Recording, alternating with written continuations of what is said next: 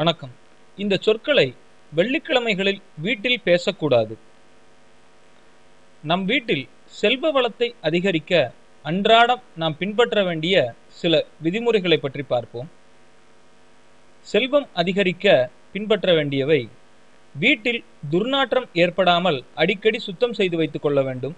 இதனால் நம் வீட்டின் பண வரவுகள் அதிகரிக்கும். வீட்டில் நாம் பயன்படுத்தும் ஆடைகளை ஒரு தனி பெட்டியிலும் புதிய ஆடைகளை மற்றொரு பெட்டியிலும் வைத்து பாதுகாக்க வேண்டும். நமது வீட்டிற்குள் எப்போது நுழைந்தாலும் நறுமணமாக இருந்தால் நம் வீட்டில் செல்வ வளம் அதிகரிப்பதோடு தேவையில்லாத செலவுகள் குறையும். வீட்டில் ஒருபோதும் இல்லை மாட்டேன் இது போன்ற அவச்சொல்லை எப்போதும் பேசக்கூடாது. அதிலும் வெள்ளிக்கிழமைகளில் மாலை ஐந்து முதல் ஏழு மணி வரை இந்த வார்த்தைகளை பயன்படுத்தக்கூடாது.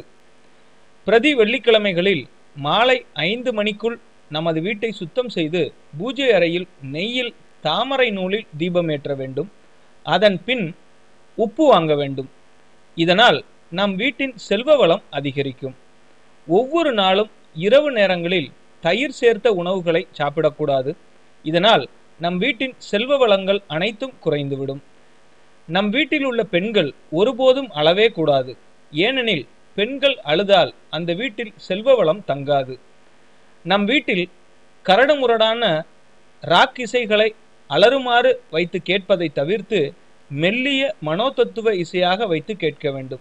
இதனால் வீட்டின் செல்வ வளத்தை அதிகரிக்கலாம். நம் தங்கும் வீட்டில் மூன்று நாட்களுக்கு மேல் குப்பைகளை சேர்த்து வைக்கக்கூடாது. இதனால் நம் வீட்டின் பணவரவுகள் குறைந்துவிடும். அன்றாடம் நாம் பயன்படுத்தும் ஒரு ஆடையை இரண்டு தடவைக்கு மேல் அல்லது இரண்டு நாளுக்கு மேல் அடிக்கடி அணிந்தாலும் பணவரவுகள் குறைந்துவிடும். செல்வ வளம் அதிகரிக்க சொர்ண பூஜை செய்வது எப்படி?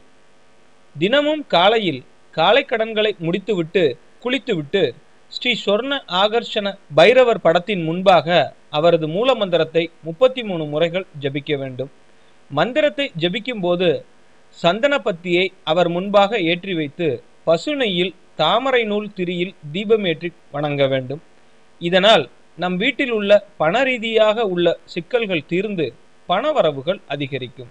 மேலும் தகவல் அறிய சேனலை சப்ஸ்கிரைப் பண்ணுங்க. நன்றி.